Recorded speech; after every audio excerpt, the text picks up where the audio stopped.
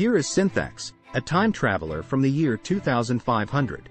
And I'm about to take you on a journey through time to witness the remarkable life of a legend, Bruce Lee.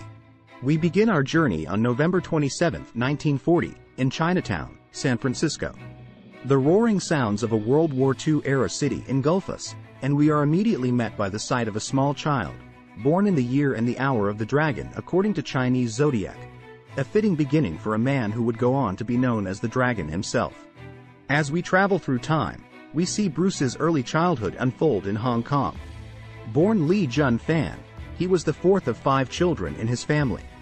His father, Lee Hoi Chuan, was a famous Cantonese opera star, and his mother, Grace Ho, was a socialite of mixed Chinese and European ancestry.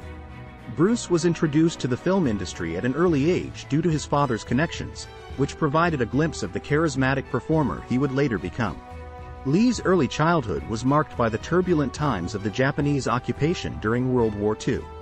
He was often found on rooftops, flying kites, a symbol of freedom, in the chaotic urban landscape. The hardships and struggles during these years would become the foundation of his resilient character. With post-war Hong Kong bustling with renewed energy, Bruce's education started at LaSalle College, a prestigious Catholic boys' school.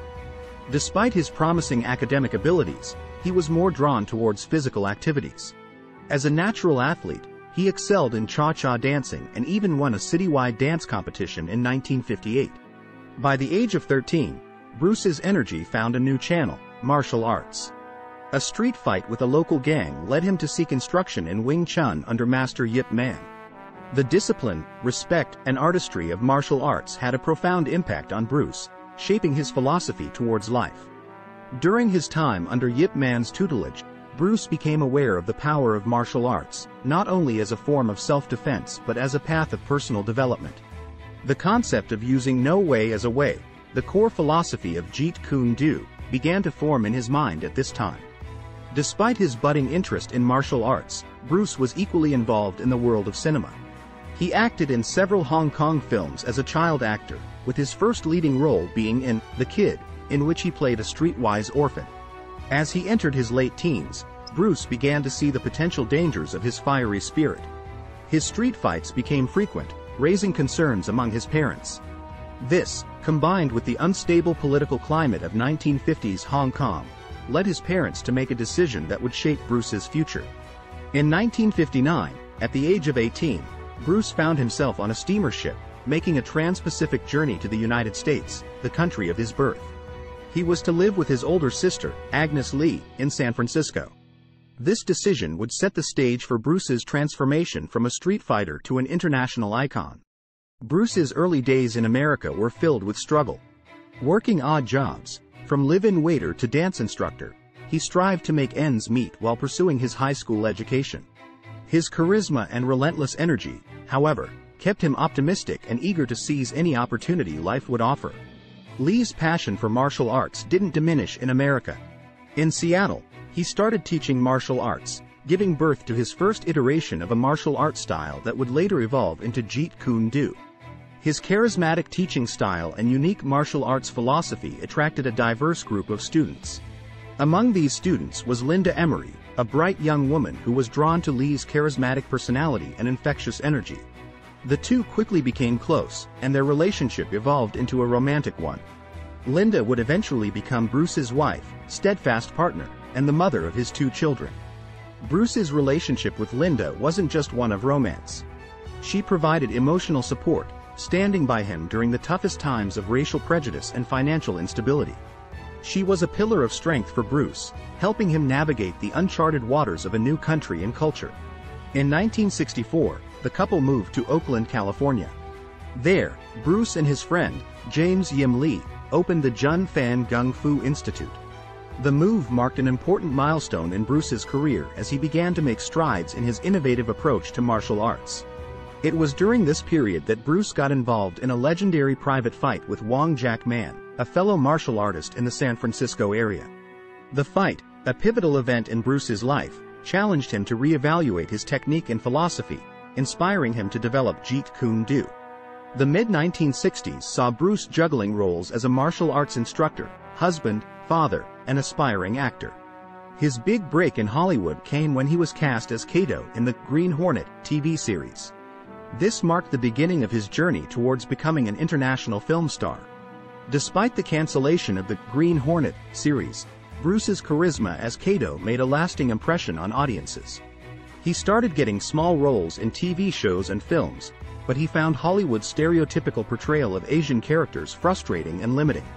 In the late 1960s, facing limited opportunities in Hollywood, Bruce turned his attention back to Hong Kong.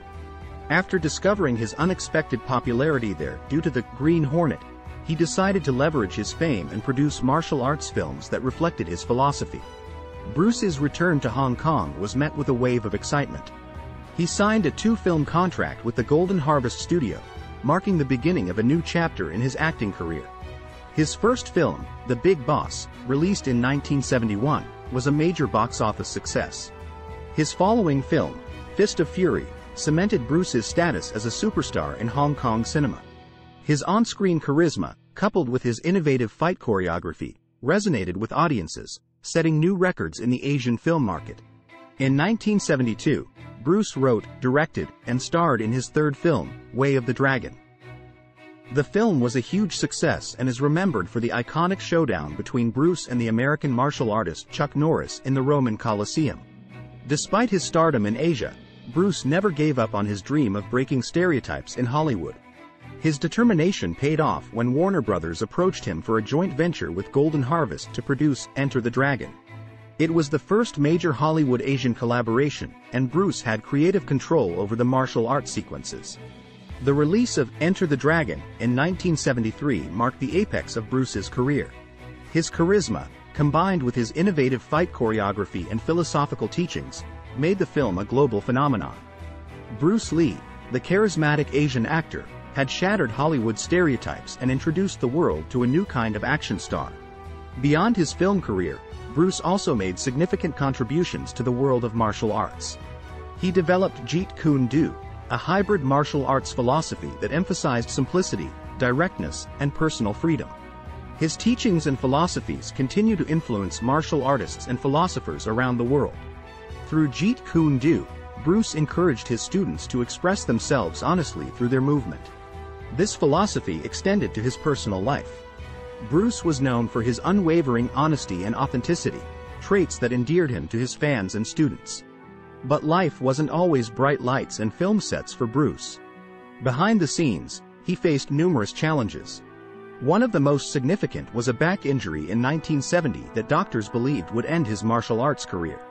Undeterred, Bruce used the period of recovery to write and reflect, deepening his martial arts philosophy and defying medical predictions. As we step into 1973, we see Bruce grappling with sudden headaches and seizures, an unfortunate foreshadowing of the tragedy to come. Amid these health challenges, Bruce remained focused on his work, never losing his infectious energy and determination. Bruce's career was at its peak, and plans for future projects were on the horizon. But fate had a cruel twist in store. On July 20, 1973, the world was shocked by the news of Bruce Lee's untimely death at the age of 32. The cause was a cerebral edema, a swelling of the brain. The world had lost a superstar, a revolutionary martial artist, and a beloved father and husband. The news of Bruce's death sent shockwaves across the globe. Thousands of mourners lined the streets of Hong Kong to pay their last respects to their hometown hero. His body was later flown to Seattle, where he was laid to rest in Lakeview Cemetery, next to his son, Brandon Lee. Bruce Lee's legacy continues to inspire millions around the world. His teachings in martial arts, his philosophies on life, and his groundbreaking roles in films have made him a cultural icon. He bridged the gap between Eastern and Western cultures and paved the way for future Asian actors in Hollywood. Bruce's life serves as a testament to resilience, courage, and unwavering belief in one's potential. His journey from a street fighter in Hong Kong to a Hollywood icon is a story of passion, determination, and the relentless pursuit of excellence. Bruce's influence extended beyond films and martial arts. His philosophical teachings, drawn from various Eastern and Western philosophies, continue to inspire and guide people in their personal and professional lives. He was a philosopher, a thinker, and a visionary, whose impact extends far beyond his brief life. Bruce's legacy also lives on in his family.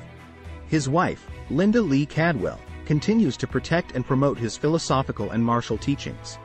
His daughter, Shannon Lee, is an actress, producer, and businesswoman who has devoted her life to preserving her father's legacy. His son, Brandon Lee, followed in his father's footsteps into acting and martial arts. Unfortunately, his life, like his father's, was cut tragically short in an accident on the set of his breakthrough film, The Crow, in 1993. Despite the tragedy, Brandon's performances continue to be cherished by fans, keeping both his and his father's spirits alive. Until we meet again, farewell,